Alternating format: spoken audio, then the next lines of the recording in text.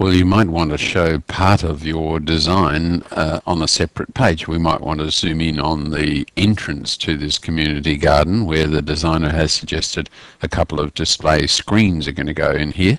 And we would like to show our prospective clients how these screens might look. So we go into our CAD program, create a 3D model of that, push it out to an image editor and then dress it up. We want to keep it within this environment here. So how do we do that? And we want to print not only our overall plan, but this narrow little view. So we can do that by going into our pages and select a page, and I'll just call this one entrance. So I've created a new page called entrance, copied that zone that we were just looking at there and then inserted um, some ideas for a couple of screens.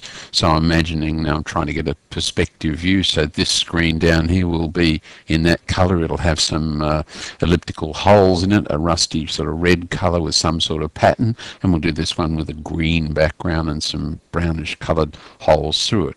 So I've used an image editor to mock this image up. We can make it look a lot better by putting a gradient representing the sky there and adding some trees from our library and maybe some ground cover plants through here. That's obviously going to be a light, so we could put a light in that zone. Can you see the idea? We can plot this out on an A4 piece of paper for the sake of argument while still having our A1 um, main plan being printed either from the model or we could better still create a new sheet in this environment for our whole design and I'll show you how to do that shortly.